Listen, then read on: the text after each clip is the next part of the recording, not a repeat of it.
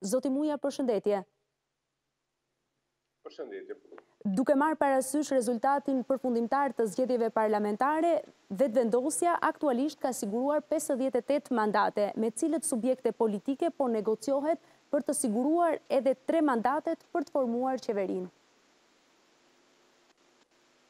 Ashtu është, domthonë janë pesëdhjetë e tetë mandate të siguruara nga procesi i rregullt zgjedhor edhe tashmë kemi dy deputetë nga komunitetet jo shqiptare që kanë konfirmu gatishmërinë e tyre për të qenë pjesë e qeverisë Kurti dy dhe jemi po ashtu edhe në fazën e konsultimit për të siguruar edhe pjesën përfaqësimin e edhe komunitetet tjera të cilat duhet të jenë pjesë Është edhe po ashtu në interesin e tyre që të jenë pjesë e qeverisë. Me cilët subjekte është duke u negociuar aktualisht, nëse mund të thuhet diçka? Po aktualisht janë konsultu, do të thotë në një farë mënyre është përqendrimi ka qenë tek përfaqësuesit e komunitetit Rom, Ashkali dhe Egjiptas, Dhe e dyta është tek partitë, domthon që përfaqësojnë komunitetin boshnjak.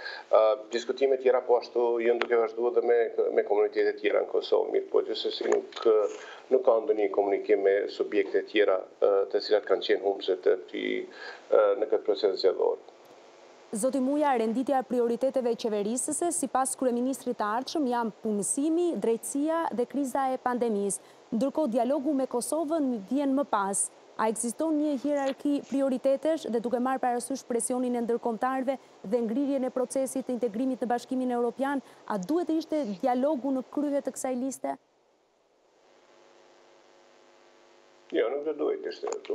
Në renditjen e prioritet, hierarkinë e prioriteteve detyrimisht unë mund të flas gjatë këtij procesi zgjedhor është pandemia dhe nevoja për vaksinim, sepse në Kosova, siç mund ta dini, në bazë të raportimeve ndërkombëtare, qeveria e kaluar e kalon pa pa vaksina deri në këtë moment dhe është prioriteti numër një është nevoja për vaksinim në mënyrë që të kontrollohet pandemia.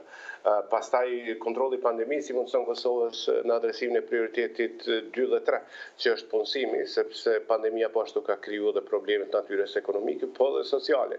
Edhe është e nevojshme që të ketë intervenim urgjent për të parandaluar dëmtime tjera që mund të jetë të natyrës sociale dhe natyrisht pastaj është drejtësia. Drejtësia dhe nevoja për luftimin e krimit të organizuar, këto janë prioritete dhe mesazhet kryesore të cilat Lëvizja Vetëvendosje i ka pas në kuadër të projektit të saj për këtë cikël zgjedhor, por në anën tjetër gjithashtu edhe këto prioritete që i kam dëgju edhe vet gjatë fushatës parazgjedhore. Kështu që këto janë tri prioritete kryesore. Natyrisht ne Nuk është prioritet i votuesve kosovarë emergjent dialogu me Serbinë, por gjithsesi për shkak të kërkesave të faktorit ndërkombëtar, unë mendoj që Kosova nuk e mohon dialogun në këtë kohë, do të jetë, mirëpo është një dialog i cili duhet të presë të jetë më mirë i studiuar, po ashtu edhe në përmbajtje gjithashtu edhe edhe për nga natyra e saj. Zoti Mujaj ju falenderoj për intervistën, ju uroj ditë të mbarë.